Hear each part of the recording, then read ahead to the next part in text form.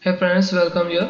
In this video I will show you that how to install TWRP custom recovery easily in any Android devices. For this you must install ADB and fastboot drivers in your system.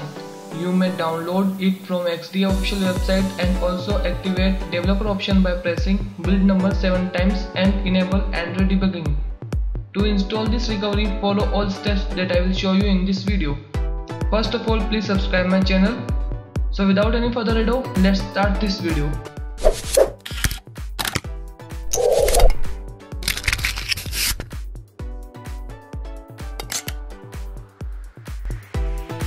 This is my desktop.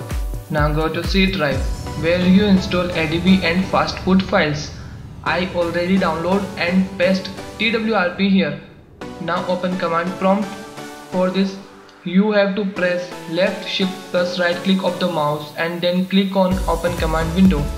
After that type ADB devices and press enter to check connected devices. My device is already connected with my system. Now type ADB reboot bootloader and press enter. By this your connected devices is in fast boot mode. As you seen my device is in fast boot mode. Type fast boot devices and press enter. It will show you connected devices. Now type fastboot flash recovery and type the name of your recovery image file.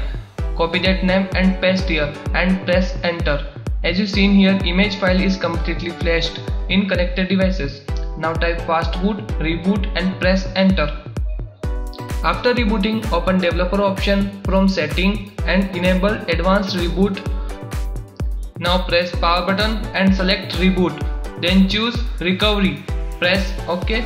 Now your device reboot into recovery which is TWRP custom recovery. As you seen here recovery is perfectly installed. That's all my friends. I hope you like my video. Please do subscribe my channel and see you in the next one.